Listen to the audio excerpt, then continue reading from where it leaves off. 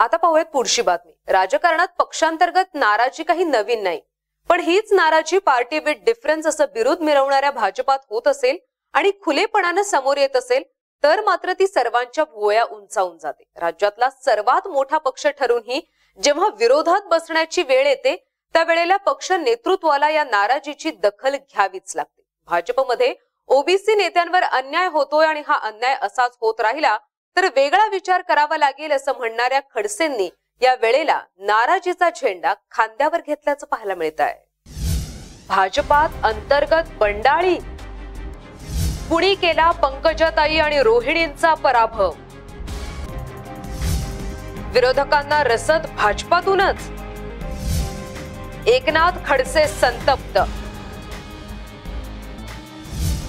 वेळ पडली तर पत्रकार परिषदेत नावही जाहीर करणार.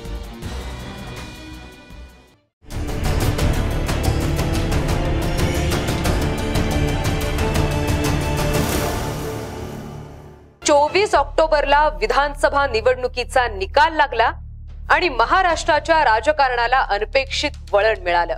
शिवसेना आणि भाजपमध्ये मुख्यमंत्री कुणाचा होणार यावर एकमत न होऊ शकल्यानं नवीन राजकीय समीकरण उदयाला आलं. अनेक नाट्यमय घडामोडीनंतर अखेर शिवसेना राष्ट्रवादी काँग्रेस आणि काँग्रेस असं महाआघाडीचं सरकार स्थापन झालं.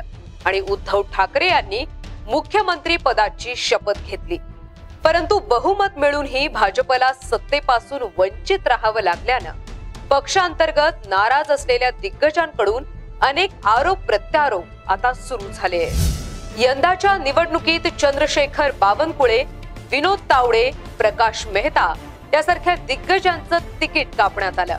तसेच भाजपच्या ओबीसी नेत्यांचा देखील पराभव झाला.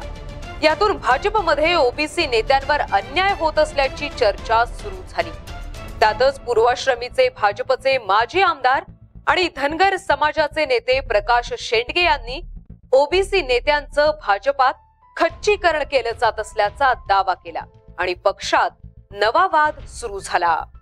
समाजा नेत्यांच्यावरती जो काय अन्याय सुरू आहे या महाराष्ट्राच्या या राजकारणामध्ये याच्यावरती कुठेतरी काहीतरी मार्ग काढला पाहिजे. त्यासाठी जुने जाणते जे नेते आहेत त्या सगळ्यांनी मिळून हा हा विषय जो हातात घेऊन दिशा एक दिशा जी आहे एक दिशा ठरवली पाहिजे.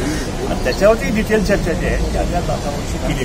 आता कोणतं काय म्हणणं नाताभाऊ खडसेंचं म्हणजे नेतृत्व भाजपमध्ये होतं फार मोठं नेतृत्व होतं. अगदी उत्तर महाराष्ट्र संपूर्ण जो आहे तो त्याने बिंदून काढला होता. उत्तर महाराष्ट्रामध्ये एक हाती लढा जो आहे तो त्या काळच्या अतिशय स्ट्रॉंग असलेला काँग्रेस राष्ट्रवादी सोबत त्यांनी दिला. आणि एक भाजप संपूर्ण भाजप त्या उत्तर महाराष्ट्रामध्ये रुजवण्याचं काम नाथाभाऊनी केलं. आणि असं असताना नाथाभाऊ नाथाभाऊंचं तिकीट कट केलं. काय ही ही जी बाब आहे ही आम्हालाही पटली नाही. आमच्या नेत्यांचं खच्चीकरण हे जे भाजपमध्ये सुरू आहे हे कुठलं थांबलं पाहिजे आणि त्याच्यावरती काय ते पर्याय काढला पाहिजे? म्हणून नाथाभाऊंच्यावर सुद्धा अशी पाळी आलेली आहे की त्यांचं तिकीट कट केलं आणि परत त्यांच्या मुलीला तिकीट देऊन पाडण्यात सुद्धा कार्यक्रम जो आहे तो या भाजपमध्ये केला. हे स्वतः खुद्द खडसे साहेबांनीच काल आपल्या माध्यमांच्या हे केलेलं आणि म्हणून याच्यावरती काहीतरी चर्चा करून सगळ्या समाजाच्या ह्या ओबीसी नेत्यांनी एकत्र मिळून या विषयावरती काहीतरी माग काढून पुन्हा एकदा या बहुजन समाजाला या महाराष्ट्राच्या राजकारणात असेल समाजकारणात असेल त्यांचा मान सन्मान जो आहे तो राहून हा जो सत्तेमध्ये त्यांचा वाटा सुद्धा मिळाला पाहिजे अशा प्रकारची रणनीती जी आहे ती करण्या करण्याची अतिशय टीका आवश्यकता झालेली आहे. पंकजा मुंडेचं सुद्धा जे आहे तिकीट देऊन इतकी मुंडे साहेबांची कन्या असलेली लोकनेता असलेली तिथंही तिकीट देऊन त्यांचाही निवडणुकीमध्ये त्यांचा पराभव करण्याची रणनीती जी आहे ती सुद्धा काल नाथाभाऊंनी सांगितली. शेंडगेंच्या या दाव्यानं आणि पंकजा मुंडेंच्या फेसबुक पोस्टमुळं पक्षांतरांच्या चर्चा रंगू लागल्या. यामध्ये एकनाथ खडसे यांनी गंभीर आरोप करत मोठी खळबळ उडून दिली. ओबीसी नेत्यांसह रोहिणी खडसे आणि पंकजा मुंडे यांच्या पराभवाला पक्षाचे नेतेच जबाबदार असल्याचा थेट आरोप एकनाथ खडसेंनी केला.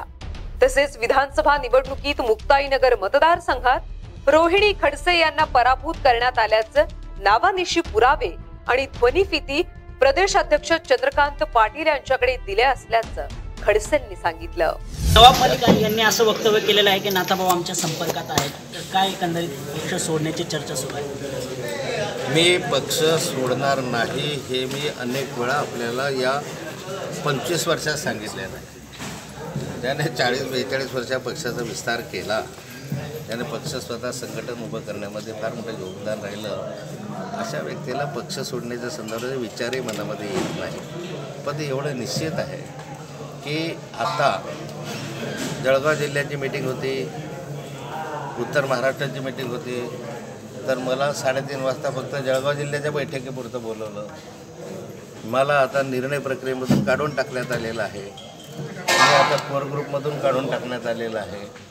मग अशा प्रत्येक ठिकाणी जर अन्यायानं वागणूक होत असेल जाणीवपूर्वक मला दूर करण्याचा प्रयत्न करत असेल तर मी काय केलं पाहिजे? असं मी माझ्या महाराष्ट्रातील कार्यकर्त्यांना आणि फॉलोअर्सला विचारतो आहे की आता आपली भूमिका काय केली पाहिजे? घरी बसलं पाहिजे पक्षाचं काम केलं पाहिजे का परिवारातलं एखादं काम दिलं तर ते काम केलं पाहिजे? त्यामुळे आता पक्ष सोडण्याचा वगैरे विचार जरी नसला तरी हे जे जाणीवपूर्वक अपमान करण्याचा जो प्रयत्न होतो आहे काही व्यक्तींकडून जाणीवपूर्वक. तर कुठे ना कुठे मी तर त्या संदर्भामधली नोंद घ्यावीच लागणार आहे ना.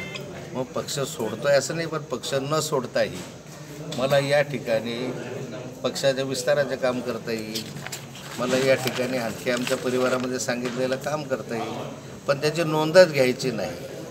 ज्याला सर्व ठिकाणी निर्णय प्रक्रियेतनं बाहेर ठेवायचं. विरोधी पक्षात बसल्यानंतर भाजपातली अंतर्गत खदखद खुलेपणानं समोर आली. खडसेंच्या आरोपानं तर या सगळ्यावर कळस चढला. खडसेंच्या आरोपामुळं भाजपच्या पक्ष शिस्तीला खिंडार पडण्याचा धोका लक्षात घेऊन प्रदेशाध्यक्ष चंद्रकांत पाटील आणि गिरीश महाजन खडसेंच्या भेटीला रवाना झाले. मात्र त्यासाठी निमित्त ठरवलं गेलं ते उत्तर महाराष्ट्राच्या कोर कमिटीच्या बैठकीचं. या बैठकीच्या निमित्तानं खडसेंची समजूत काढण्याचे पुरेपूर प्रयत्न करण्यात आले. मात्र लेकीच्या पराभवानं संतप्त झालेले खडसे पाटील महाजन या जोडगोळीचं ऐकण्याच्या मनस्थितीत नव्हते. खडसेंची मनधरणी तर राहिलीच बाजूला. पण गिरीश महाजन आणि एकनाथ खडसेंमध्ये वाकयुद्ध रंगल्यानं सगळ्या बैठकीचा नूरच पालटला. विधानसभा निवडणुकीत रोहिणी खडसे यांना पाडणाऱ्यांची नावं एकनाथ खडसे यांनी पक्षश्रेष्ठींकडे दिल्याचं ते सांगताय त्यांनी ती नावं गुप्त न ठेवता पुराव्यानिशी थेट जाहीर करावं असं चॅलेंज गिरीश महाजन यांनी खडसेंना दिलं. तर एकनाथ खडसेंनी पाडापाडी करणाऱ्या पक्षातील नेत्यांची नावानिशी यादी मी वरिष्ठांकडे जमा केलीये पक्षाध्यक्षांनी परवानगी दिली तर मी प्रेस कॉन्फरन्स घेऊन ती सर्वांना सांगेन असं खणखणीत उत्तर दिलं. त्यामुळे आता भाजपमधील कलह चव्हाट्यावर आल्याचं पाहायला मिळत आहे अगदी जळगाव जिल्ह्यामध्ये कोणत्याही कार्यक्रमांना आता जे आहे उत्तर महाराष्ट्रात बोलवायचं नाही. असं जर करत असाल वारंवार तर शेवटी मी माणूस आहे ना.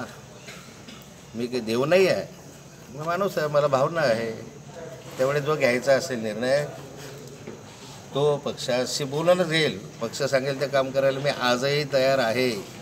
परंतु वारंवार अशा स्वरूपाचा जर माल्यावर अन्याय होत राहिला अत्याचार करत राहिला तर मला वेगळा विचार करावा लागेल. दुसरीकडे भाजपचे डझनभर आमदार आणि एक खासदार आमच्या संपर्कात असल्याचा दावा महाविकास आघाडीतील काँग्रेस आणि राष्ट्रवादीकडून वारंवार केला जातोय.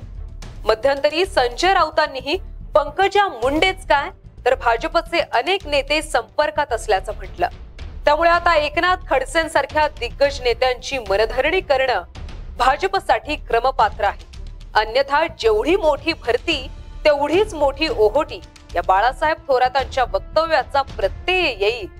यात मात्र शंकाच नाही.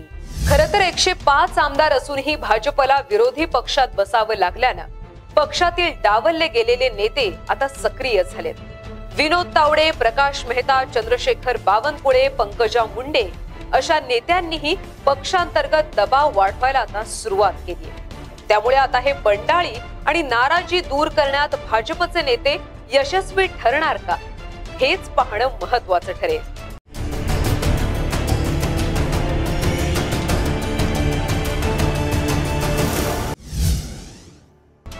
Bureau report M K N Marathi Pune.